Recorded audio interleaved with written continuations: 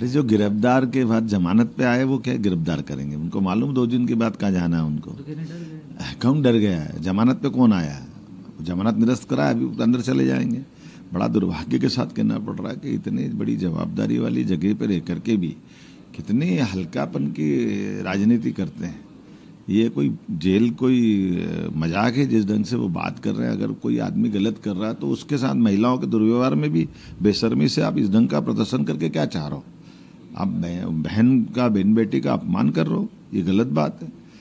कांग्रेस और आप पार्टी सब मिलकर के गठबंधन करती है और इस ढंग का हालात करती पहले घर के अंदर आईएएस अधिकारी को मारते, चीफ सेक्रेटरी को मारते आप बहन को पिटवाते हैं। अपने पीए को बचाने के लिए नाटक करते हैं। बहन के लिए अपमान की स्थिति के लिए माफ़ी नहीं मांगते। एक बार नहीं बोलते कि स्वाति पालीवाल के साथ ही घटना नहीं होना चाहिए। क्या नहीं बोलना चाहिए उनको?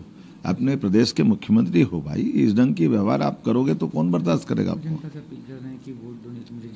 ये उनके वो नहीं कह रहे कि साथ- पालीवाल के लिए क्या क्या, क्या हुआ है। वो उसके लिए बोले ना माफ़ी मांगे ना इसके लिए। सब जनता जानती है ये सब घटनाओं के लिए केवल अपने पाप छिपाने के लिए जनता बहुत अच्छे से आप पार्टी को जान गई जो झूठों के पहाड़ पे खड़ी है। जिसने झूठ के आधार पे कहा था कि हम राजनीतिक दल नहीं बनाएँगे दल बनाया मकान नहीं लेंगे मकान लेगा सुरक्षा नहीं लेंगे सुरक्षा ली। कोई गलत काम नहीं करेंगे। सबसे पहले शराब के घोटाले में बंद हुए, इनके चार चार मंत्री बंद हुए। अब बहन बेटी को पिटवा रहे हैं घर में बुला करके तो ये बातें जनता बर्दाश्त नहीं करेगी। यूपी की भी दौरे पे